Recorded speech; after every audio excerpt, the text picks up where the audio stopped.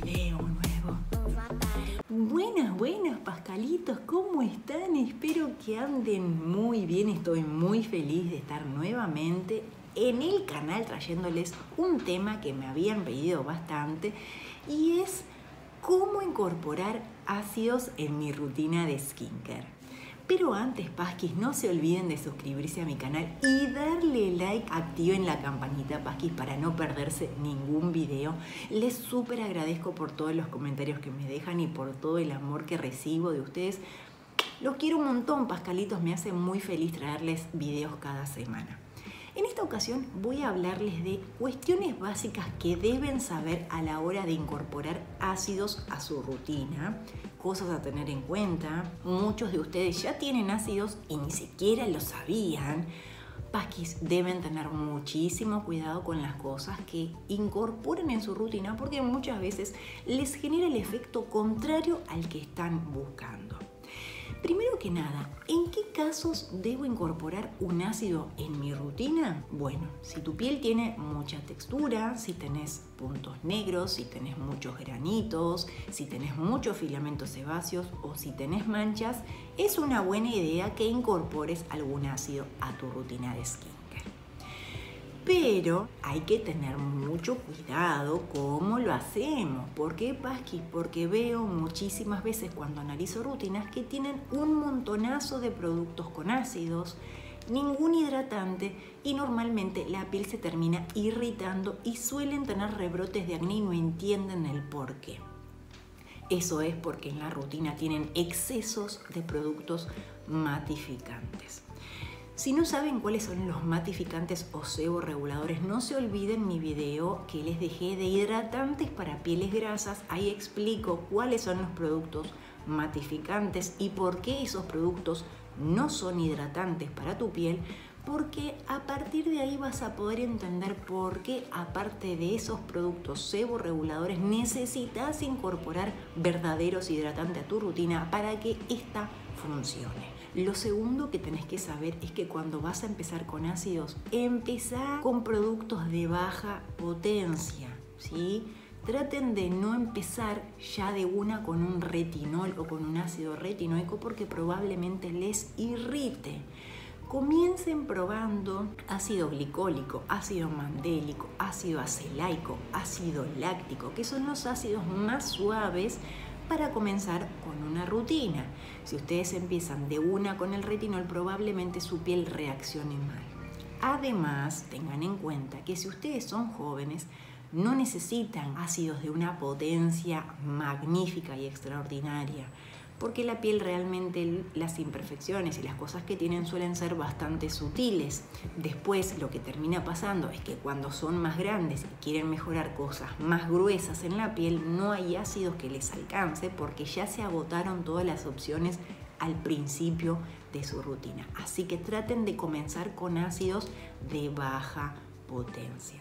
Y después, a medida que van pasando los años, pueden ir escalando o si tienen demasiadas imperfecciones, esa escala será en menor tiempo, pero siempre les recomiendo empiecen con ácidos de baja potencia. Lo siguiente que tienen que saber es que no repitan ni combinen ácidos en la rutina. Si usan ácidos de día, traten que no todos los productos sean ácidos. Y si usan productos a la noche, traten de no combinar ácidos. O sea, muchas veces en la rutina hacen gel de limpieza con salicílico, un sebo regulador, por ejemplo, algún matificante y un protector solar con ácidos y después a la noche repiten y sebo reguladores y serum con ácidos y toda la rutina tiene muchísimos ácidos. Traten de equilibrar la cantidad de ácidos que utilizan.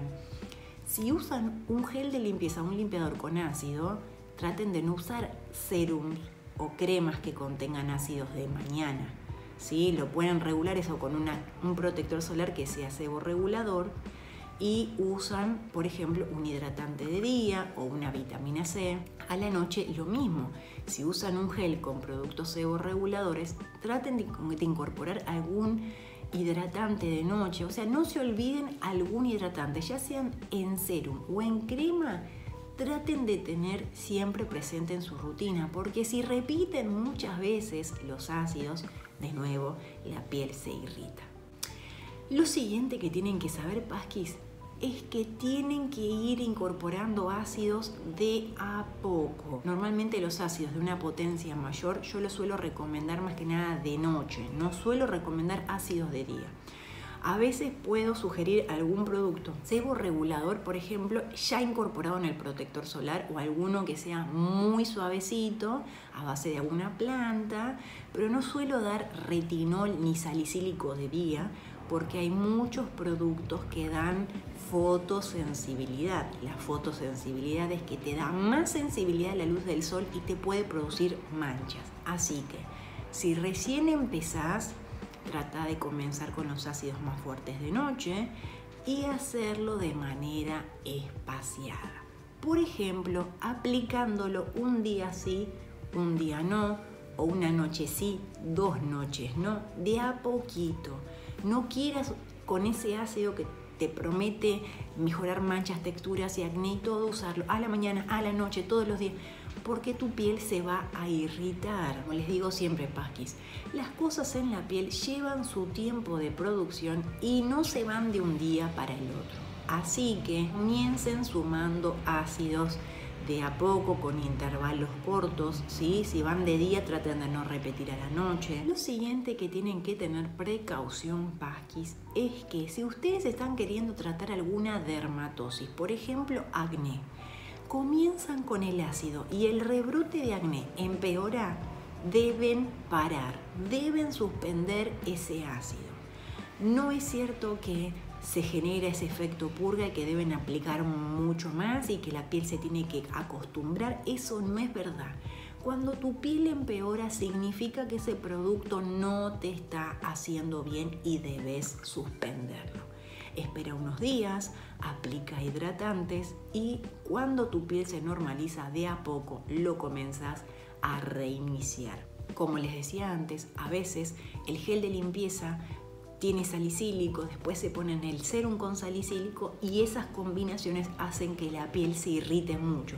Por eso es muy importante con qué combinan esos serum y esos ácidos siempre, siempre traten de tener una consulta con un dermatólogo para que los guíe y los oriente en las combinaciones que quieren hacer. Una vez que ya están más o menos habituados ¿sí? al ácido y que su piel tolera bien, si quieren mejorar cosas más específicas, recién ahí les sugiero ir subiendo la potencia de los ácidos Tengan en cuenta que si ustedes lo que buscan es sebo regular, o sea, controlar la oleosidad y los granitos, el ácido que más les conviene es el salicílico.